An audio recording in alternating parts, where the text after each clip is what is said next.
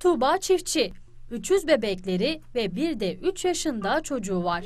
Tuğba çiftçinin eşi asgari ücretle çalışıyor. Yani dertleri büyük.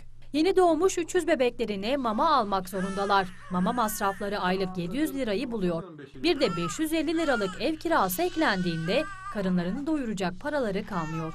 Destek, komşularım bana destek veriyor. Komşularım mama getiriyor, bez olsun, kıyafet olsun. Sağ olsunlar komşularım bana yardımcı oluyorlar. Şanlıurfa'dan Antalya'ya güzel bir yaşam ümidiyle göç etmiş çiftçi ailesi. Ancak genç aile komşularının yardımıyla ayakta duruyor. Buradan Cumhurbaşkanımıza sesleniyorum. Kendim için değil, çocuklarım için istiyorum.